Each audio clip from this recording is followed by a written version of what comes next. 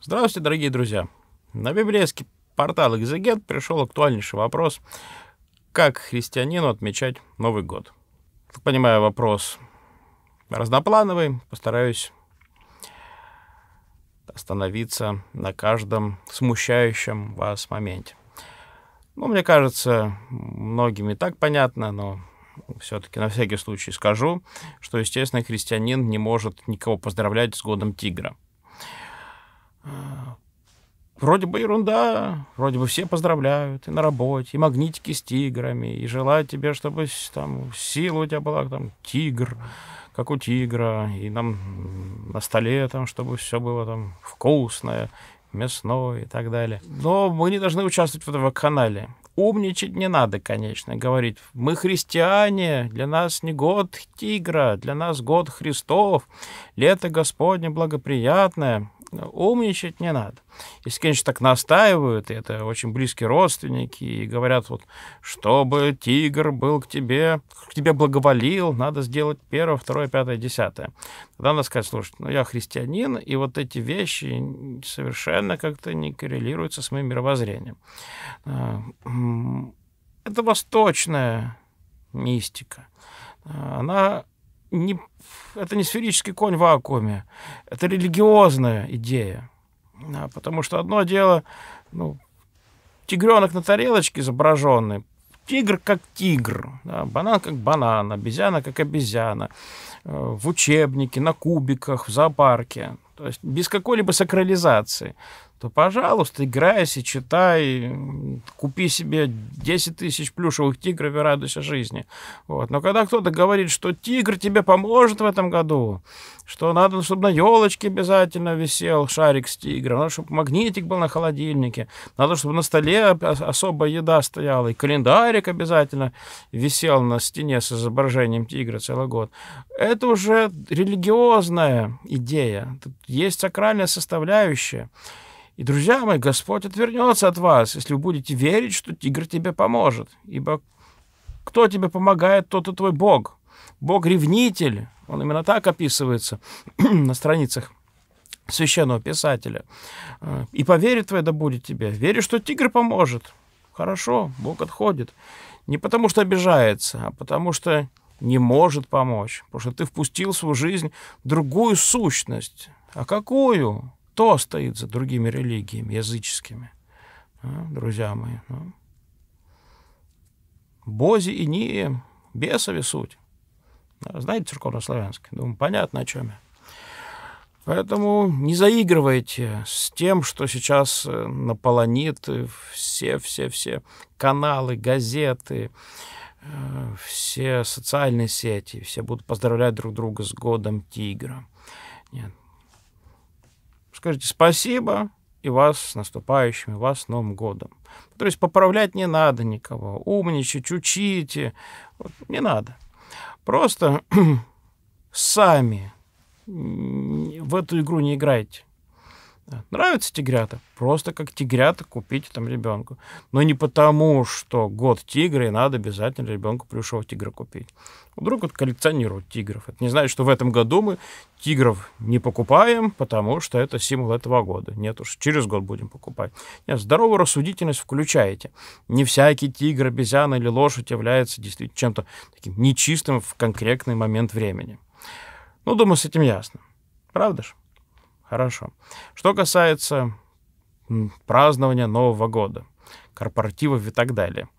Ну, вопрос стоит очень просто. Или идти, или не идти. Если идешь, то есть, что дают. Если не идешь, ну, замечательно, там пост сохранишь. Но одно дело не идти на корпоративы, другое дело не идти на Новый год к бабушке, дедушке, к родителям, потому что они не хотят конкретно для тебя готовить постное оливье, дорогущий стол с морепродуктами. Позвали в гости. Ну, не умничай, ешь, что дают. Сделаю для тебя отдельную полянку. Ну, замечательно, ешь свои постные продукты. Подними бокальчик постного шампанского. Не надо поднимать третью, четвертую бутылочку шампанского. Это уже действительно противоречит духу Писания, ибо апостол Павел сказал, не упивайтесь вином, в нем есть блуд.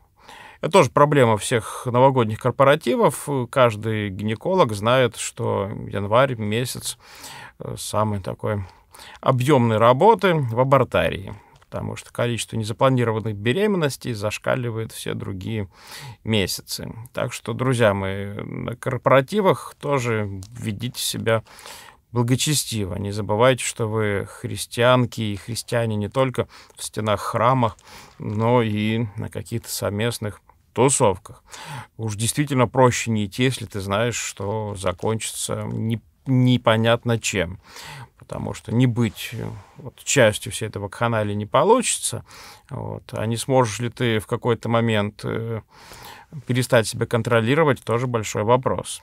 Но вернемся опять же к еде. Э, кто-то может со мной не согласиться. Нет, э, надо ни грамулечки, молочной кислоты даже себе не допустить, если где-то написано на каком-то продукте. Там, высматривать обязательно состав печенья, пряника или чего там еще нибудь. Пусть там и не вы, выбегает корова из этого пряника, когда ты его разламываешь, но все равно же там же домишки или остатки часть какого-нибудь сухого молока присутствует, все, значит, это печенье не постное. Ну, на самом деле, такое элементарное фарисейство, потому что, мне кажется, у меня больше претензий к постному майонезу, который по вкусу практически такой же, как и не постный, чем к тем продуктам, которые имеют в составе какие-то незначительное количество молочных продуктов, но при этом совсем э, ну, по вкусу ни молоко, ни мясо не напоминает. Вот, я повторюсь, у меня больше претензий э, к чипсам с ароматом бекона, которые формально совершенно вроде бы постные, но по факту-то не совсем. Мы уже давно научились делать постные столы, такие, что уже повкуснее будут с коробных столов. На самом деле мы уже давно э, зашли с черного хода э, в эту обитель постного чревоугодия. Вот.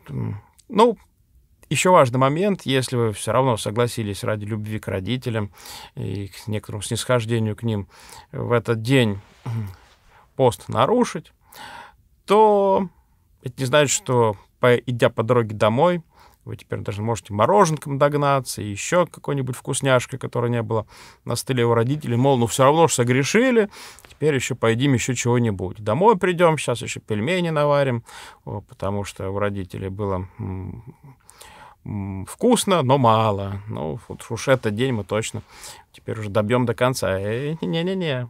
Дома, на улице все равно пост соблюдайте. Здесь вы совершили действительно такое некоторое снисхождение любви, как и многие святые отцы, между прочим, совершали. То есть это не я придумал, не то, что такой батюшка либеральный на экзегет позвали, вот теперь рушат все устои и нормы общественной жизни духовной. Сейчас еще вот, понабирают таких и ведут изменения в символ веры, и сейчас еще с католиками целоваться начнем, и вот придет скоро антихрист. Ну, друзья мои, нет. Если покопаться святых отцов, мы найдем множество примеров подобных же, э, подобных поступков в качестве примера снисходительной любви к немощам друг друга. Не разгневается на нас Господь, метеорит на небо, с неба на вас не упадет, и примет Господь ваш пост и ваше рассудительное нарушение поста, потому что сохранение любви превыше всего. Аминь. Внеси свой вклад, оцени, подпишись и поделись этим видео.